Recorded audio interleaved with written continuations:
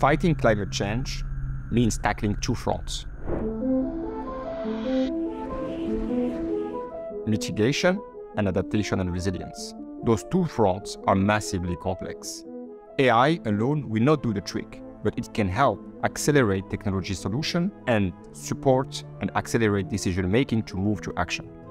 Flood, drought, sea level rise are already impacting our day-to-day operation, our population, and our economic activities. There is a huge cost of inaction.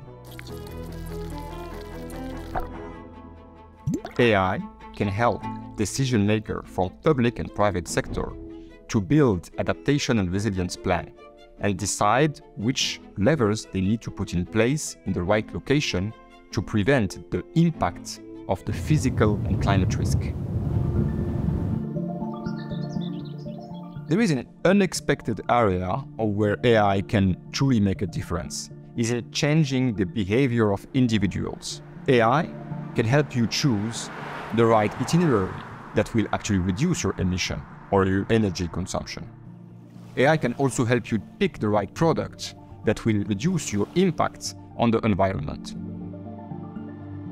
I believe we should invest in two great priorities. The first one is in research and development in academia to actually accelerate the development of climate models.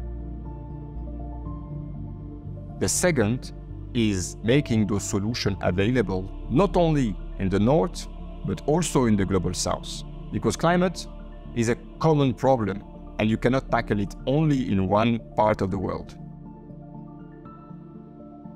What is exciting about AI is we don't know where it's going to land in the future. We are still discovering its possibilities.